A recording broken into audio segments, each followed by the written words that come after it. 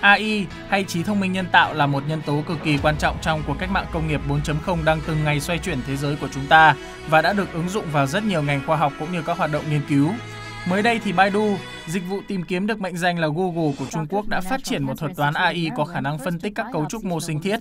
Phân tích các cấu trúc sinh thiết là một công việc vô cùng khó khăn, nhưng công nghệ học sâu của Baidu có thể giúp tìm kiếm các tế bào khối u nhỏ nhanh hơn và có độ chính xác cao hơn các phương pháp trước đó. Nếu thuật toán này hoạt động tốt, các bác sĩ trong tương lai sẽ không cần phải bỏ ra hàng giờ để xem từng cấu trúc sinh thiết, mà chỉ tập trung vào các vùng bị ảnh hưởng đã được thuật toán xác định.